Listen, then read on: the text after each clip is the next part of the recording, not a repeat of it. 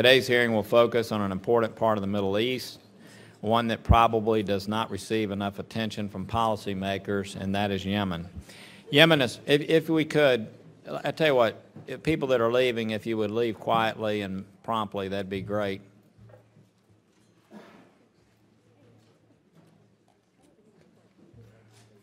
Yemen has been rocked by political turmoil since 2011 and suffered through violent civil war since 2014. Unfortunately, the war has split the country in half and left much of Yemen ungoverned.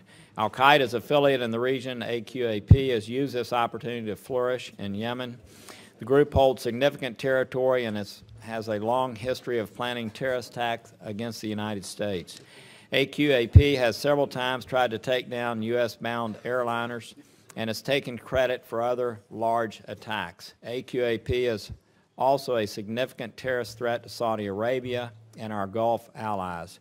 Additionally, Iran has exploited this conflict to increase its influence in the region. They continue to provide arms to the Houthi forces despite a UN Security Council resolution prohibiting such actions. Houthis have used these weapons to attack U.S. ships off the Yemeni coast, and they are launching missiles across the border into Saudi Arabia. Unfortunately, these concerns are compounded by a tragic humanitarian crisis that is currently unfolding. An estimated 7.3 million people are in need of immediate food aid. 462,000 children suffer from acute malnutrition, and according to the UN, more than 10,000 civilians have already died in a two-year conflict. Both the Saudi-led coalition and the Houthis disagree on the fundamentals of a political settlement.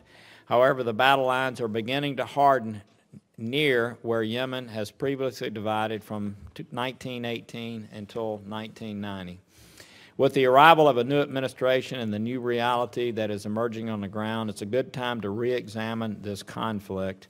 We must ask what more can be done to bring about a peaceful resolution and take a closer look at what possible outcomes could mean for U.S. interest in the region.